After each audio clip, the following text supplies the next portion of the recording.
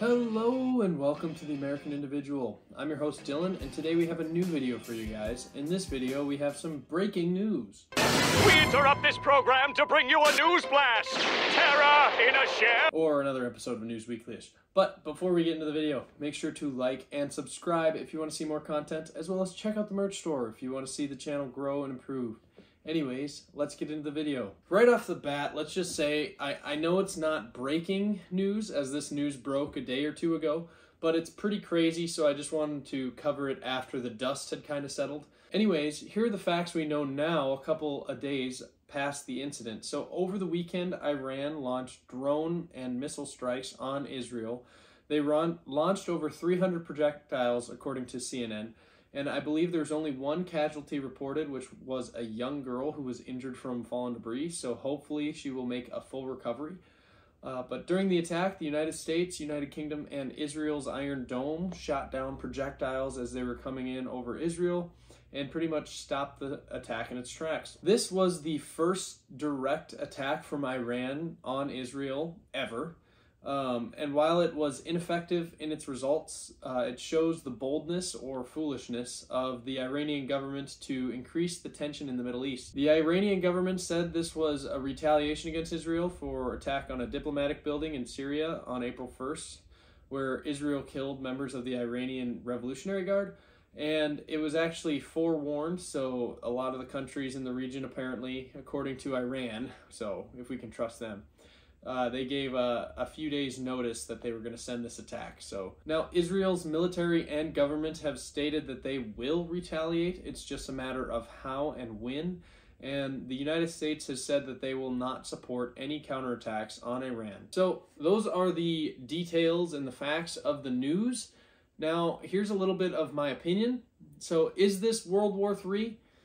I don't know. Uh, we can't know and we won't know until we're in it. This event itself is a major historical event and will likely not result in de escalation, but only further escalation in the region. And it's likely to broaden to a larger conflict in the Middle East. And it really depends on what Israel's response is to this whole thing. Because, on one hand, if Israel responds with brute force and attacks Iran, this could lead us into a larger conflict, which could lead into World War III.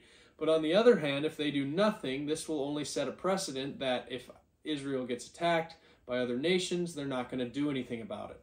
So it's kind of a, you know, a lose lose situation, if you will. Additionally, I'm not sure how much of this attack was actually an attempt to harm Israel, uh, given the fact that they sent the missiles and the drones from Iran itself. So Israel had plenty of time to prepare itself, plus, they gave ample warning. So if you were trying to surprise attack a nation, they didn't do a very good job. However, the attack itself sets a precedent that is not good um, for future attacks um, and looking for you know other other things that could create more conflict in Israel and the Middle East. This is one of those things that may have you know been the big spark that lights the powder keg. But I'm not going to sit here and wallow in fear. We will just have to see what happens and have to wait and watch. Just see what happens. Now, here's what I know for certain. For all of human history, especially in the Middle East, there have been wars and death and sin, and this life will come to an end. What you can do, however, is you can come to the one true God and Savior, Jesus Christ who will save those who put their trust in him. And if you don't if you do that, then you don't have to worry about what happens in this life, whether that's wars or death or famine, but we can set our hopes fully on the promise set before us by Jesus Christ through the Holy Spirit. And I know that sounds churchy, but it's true, and it brings me the only hope that I have through all this crazy news that's going on. So, thank you for watching that video. Sorry if I was too serious, but it was a serious topic. I hope you enjoyed it.